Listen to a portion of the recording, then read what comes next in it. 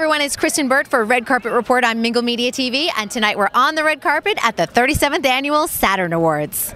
Here we go. Hi there.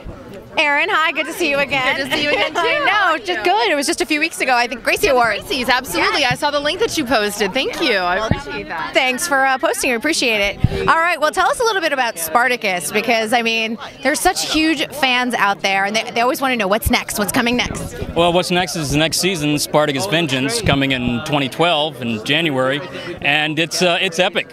The, the gladiators are broken out. Uh, they're taking on the Romans. It's uh, it's we're really really getting into the stuff that's in the history books now. Um, the big battle, the slave revolt, and it's uh, it's big, it's epic, and just as sexy and violent as the first two seasons. Fantastic. I know people always like that. Is there one little thing that might surprise the fans that's coming up for next season? Well, uh, I don't know if it's a surprise, but it's no secret that Lucy Lawless is coming back after being uh, almost stabbed to death last season. Uh, how she comes back is we're keeping that under wraps, but it'll all be playing in the next season. But we're, we're thrilled to have her back.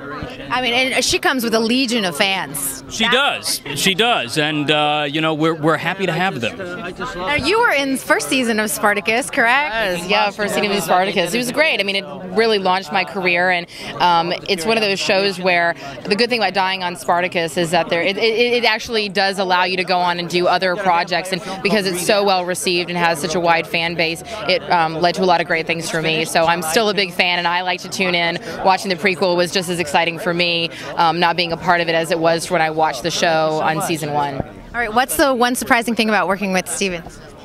Um, he writes women better than anyone else you could I, I've ever worked with, and I think he knows women better than women know women. Ooh, that's a nice one. Okay. Return the favor.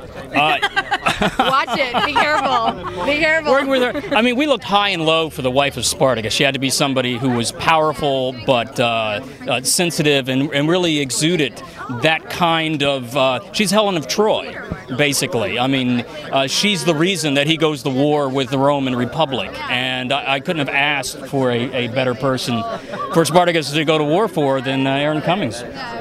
That's pretty good. I like that. I was like, all right, return the favor. Have a wonderful time tonight, you guys.